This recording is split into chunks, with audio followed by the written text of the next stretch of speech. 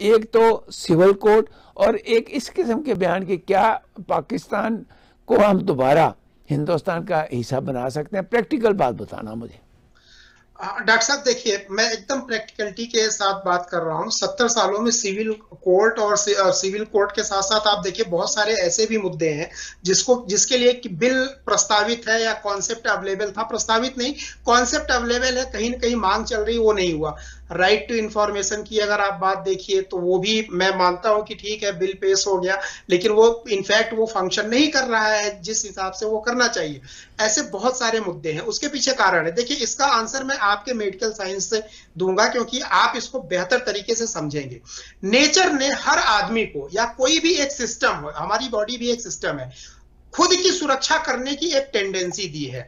अगर उसको सरवाइव करना है, उसको यहाँ पे इस कॉम्पिटिटिव वर्ल्ड में रहना है, अपनी जान बचानी है तो हर आदमी, हर जीव, हर सिस्टम सबसे पहले अपनी सुरक्षा देखता है। अब आप मुझे ये बताइए कि जहाँ पे मोराल इतना वीक हो, हमारे पॉलिटिकल सिस्टम का लीडर्स का, या कुछ रीजन के कारण वीक हो, जिससे कि उनके ऊपर खतरा हो, या वो इतने स्ट्रांग नहीं हुए हैं तो वहाँ पे कौन ये सब चीज़ें करेगा? कोई बिल्ली अपने ही गले में घंटी क्यों बांधेगी? ये इसका बड़ा ब्लंट सा रिप्लाई है। उनको पता है कि इस चीज़ को बाँध देने पे बहुत सारी चीज़ें, अगर हम घंटी बाँध देंगे अपने गले में तो हमने जो कुछ भी आज पाया है, वो सारी चीज़ें गायब हो सकती हैं, खत्म हो सकती है। तो उसके पीछे एक सिंपल साइकोलॉजिकल और प्रैक्टिकल फियर फैक्टर है। जिस दिन ये हो जाएगा, उस दिन इतना बड़ा फ़िल्टर हमारे सिस्टम में लग जाएगा कि शायद रिटर्न में डेमोक्रेसी ये इसके प्रिंसिपल को, संविधान को रखने की ज़रूरत भी नहीं होगी। एक ही कुछ ऐसे फ़िल्टर हैं मेजर माइक्रो लेवल पे फ़िल्टर जिसको कि बिल के रूप में आप लगा दीजिए।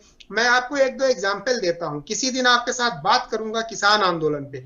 इसी तरीके का कुछ ये एक माइक्रो लेवल का फ़िल्टर था और उसको इतनी बड़ी टीम मिलकर के भी समझा नहीं पाई। कुछ कुछ लोगों ने 130 करोड़ की जनसंख्या है, मुश्किल से एक लाख लोग भी नहीं बैठे थे, दस बीस हज़ार बैठे थे। उन्होंने 130 करोड़ के लोगों के ऊपर वो हावी हो गए। उनकी आइडियोलॉजी हावी हो गई। ये एक डेमोक्रेसी का ड्रॉबैक है।